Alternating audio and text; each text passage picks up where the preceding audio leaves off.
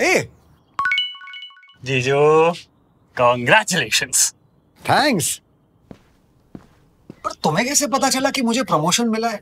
Congratulation वो हमारी anniversary के लिए बोल रहा है। एनिवर्सरी जो तुम भूल गए। इस साल भी।